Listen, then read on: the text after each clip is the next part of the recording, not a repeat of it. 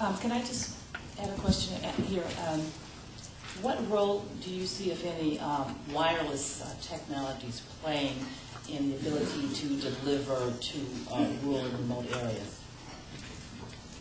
I think there's a lot of potential for wireless technologies.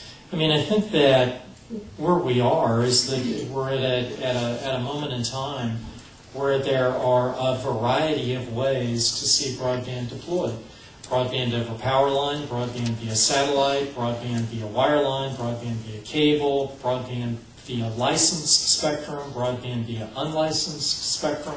I mean, we really have reached a moment in time where anyone who wants to invest and to come up with a business model really is, is free to invest. And um, that's good for that's good for the American people. We think that most uh, technologies will involve some mix. Our industry, for example, really believes that uh, American consumers today are at the place where they want to have communications on a 24-7 basis, that they want to have communications their way, that they want to have communications um, all the time, and whether their communications they're receiving are fixed or mobile should be transparent to the user.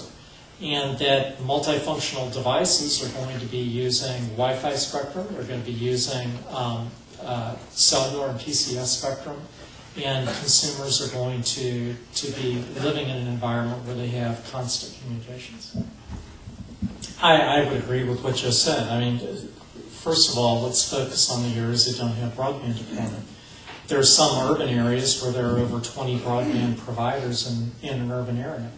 Um, far more choices for broadband than there would be grocery store chains serving certain urban areas. So very, very competitive. Second, we do want, we do need to have federal policies that encourage investment. What we're seeing in those areas where there are multiple providers is that we are seeing competition that increases speed and lowers costs. And it's no surprise that when costs go down, um, penetration rates go up. Um, third, there are some drivers for those who will take broadband. One of them is having access to a computer. If somebody doesn't have access to a computer, they're not going to sign up for broadband. And so we need to focus on the fact that if people are going to make use of broadband, that they have to have the kinds of equipment that makes broadband of utility.